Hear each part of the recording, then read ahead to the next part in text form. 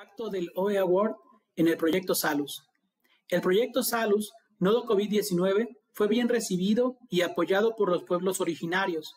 ya que al proporcionar información en salud en su propia lengua y al escuchar la voz de un miembro de su comunidad, toda la información fue atendida, ya que generó mayor credibilidad que siendo en español.